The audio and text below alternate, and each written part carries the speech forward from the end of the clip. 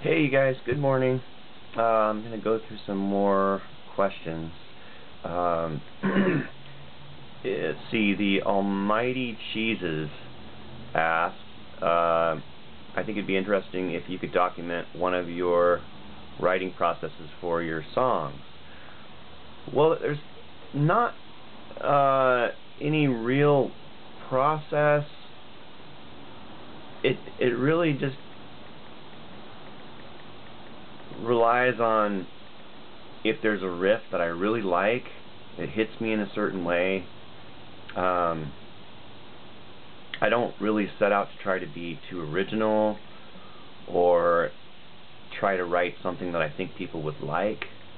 It's more like, if anything, I'm writing something that, or I'm coming up with something that I I like, that I would want to hear um, or that makes makes me feel a certain way. With like heavy riffs um, maybe it's kind of an adrenaline thing like like it's like yeah I love that you know it it I don't know it makes me feel uh, makes me feel really good. Also this is true. Um, things like depression, things like um, you know unhappiness or you know uh, in, intense feelings that are you know anxiety or whatever inspires me to write. Not that I'm saying like I'm feeling like that all the time, but songwriting is a way to uplift, to um, boost boost my mood, you know, to to get out of that to get out of that rut. Um, because when you do play music, you get out of your headspace, you know, you're more in a in a momentary space, and when you're in the moment, you're not worrying about shit in the future. You're not, you know, dwelling on shit from the past. You're right now, and you're you're working on creating right now. So I would say that. Um, and I just kind of go go from there. If I find some riffs that I like, I stick with it, and um, always have a recorder around. Like this right here. I'll show you guys. Okay. So, I have this little recorder. Okay. I've been recording on this. I have some other tape recorders. And I usually have a tape in here. Then we'll see what...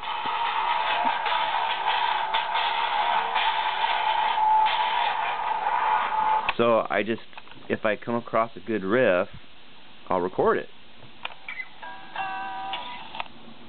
So, I mean, I record myself singing sometimes to see how bad it sucks.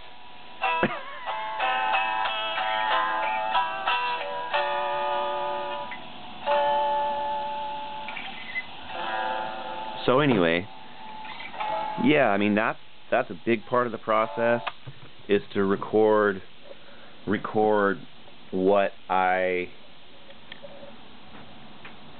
what hits me in a way that that I really um, I really like the riff, you know.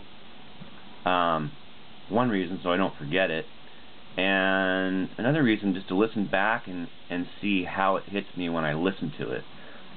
Because if if I listen back to something and it's I still really like it, then then it's uh, then it's something I I I, I stick with. So. Um, Alright, so Almighty Cheeses, that is answer. We're going to move on. Um, and Andre uh, asked, you know, it'd be interesting if I do some videos uh, where shows were, and he asked some other stuff, and that will be in the future. I have to reconnect with some people I connected with a couple months ago um, and try to get some of that rolling. So JTube Um, he asked, it's kind of long here. Can you describe personality traits of Kurt in terms of punctual? Was he? Yeah, I. I don't know about punctual, so I can't really answer that. I mean, shit, yeah, I can't really answer that. Was he stylish when he was in Olympia, or was that something he developed after he got famous? You know, Kurt just, I don't know, he just wore what he what he had. I mean, that's my my feeling, you know. Um, he wasn't trying to look extra punk. I think the, the only thing is like dyeing his hair or bleaching his hair was probably the only thing that sticks out to me that you know that he wanted to change his appearance.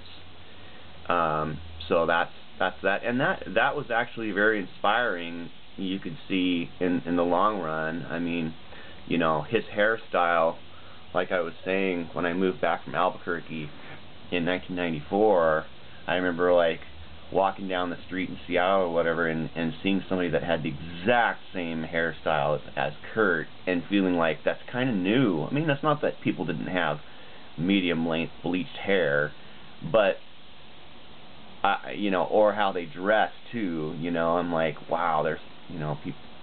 The, the red dye, you know, started to red dyed hair started to become something we saw more often. I don't know. I'm I'm saying that there was some ins in inspiration for hair color from Kurt, so I'd say that. But like, what what he wore, I don't know. I I can't remember if it was Kurt because I I used to wear long johns under my shorts or long johns under my shirt. I might even have pictures. I'll have to look, but I can't remember like what exactly inspired me, and I and I remember Kurt used to do that. So very possibly it was Kurt that inspired me to wear long johns. I mean, see, it's not it's not style. It's actually you know to keep you warm, and you know, and I want to still wear my punk rock shirts. So underneath that to keep me warm would be a would be a long john, right? Long john. So okay, um, was he a patient person? Yeah, I think so. Or impatient. I think Kurt was always really patient. He listened, you know. I think that's a a uh, important thing is um, everybody should listen closer. Listen to the person that's speaking to you and and uh, yeah, so he was patient. For example, uh, let's see, uh, did he ever talk about exercising, running? No. Um, for example, was he a lifeguard? I don't know. I don't really know. I never went swimming with him, I don't know. Like, um, he may have been a really good swimmer. Who knows? Um, uh, you know, like living in the Northwest when the weather's nice, you get outside and enjoy the, enjoy the fresh air. Um, was he the type to enjoy a cafe or something with nice lighting or atmosphere? Now, the whole cafe thing didn't really start in my, I mean, that I remember, in the Northwest at least, um, in, you know, Seattle and uh, even Seattle, Tacoma, and and Olympia until the the 90s, and when more cafes started popping up. You know, maybe kind of like like Starbucks, and then more cafes would open coffee coffee shops. But in Tacoma, there really wasn't anything until the early 90s like that that I I remember. Um, so yeah, I mean, you know, that's just some place to go and you know hang out with people, drink coffee, and I don't know, get a sandwich or whatever. So let's see. Yeah, I think you like the city. Do you think you like the city? Yeah. I mean, you know, um, that's where things are happening. If you're in the country, you're kind of stuck to living, you know, in an area where not much is going on. Um, So anyway, yeah, that's answer that question. Um, Andy asked, uh, what kind of music was I into before I was into into punk and the heavier side of things. Um, I've always been into like heavy rock music, so before I before I listened to to punk rock, I listened to actually early metal, um, a lot of like British metal, so like 19 shit, probably as early as 79.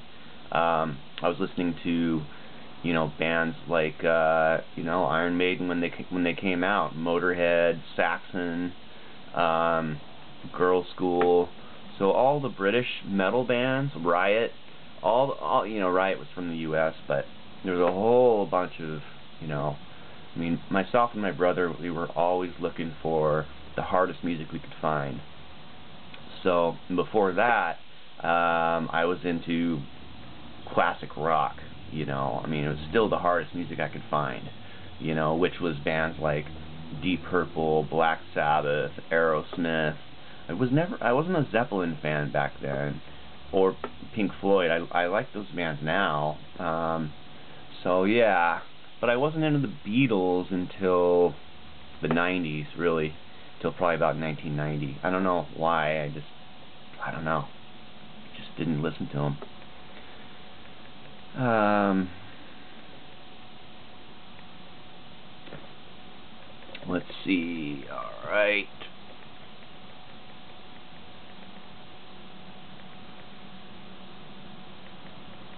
Okay, well, I guess I'll stop there for this video, and there's more, but I'll make this video this long. Okay.